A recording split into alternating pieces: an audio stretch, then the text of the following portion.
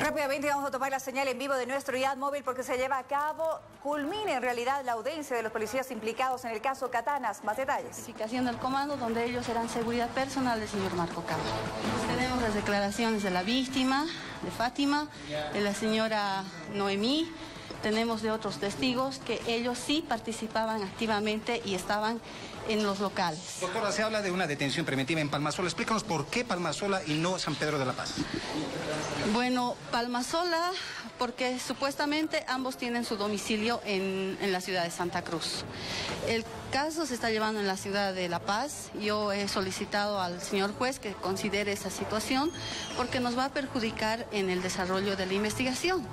Pues tenemos que hacer los trajes desde la ciudad de Santa Cruz, entonces se nos complica un poco la investigación que va a realizar el Ministerio Público, ¿no? Porque ahora tenemos dos detenidos en el penal de Palmasola.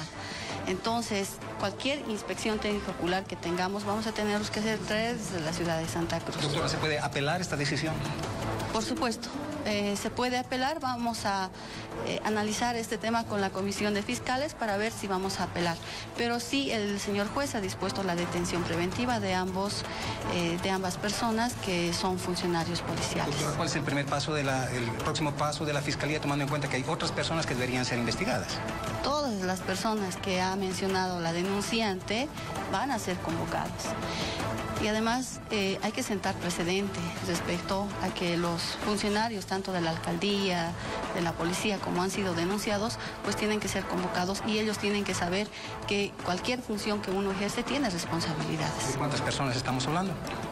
Bueno, tenemos más de 10 personas para convocar y, y a las próximas semanas vamos a tener al, alguna noticia respecto a estas personas. Doctora, muchas gracias. Como ustedes acaban de escuchar, la decisión del juez Sergio Castillo es la detención preventiva de estos dos policías que pertenecían al Escuadrón de Seguridad Física de Santa Cruz. Ellos serán eh, encarcelados en el penal de Palmasola.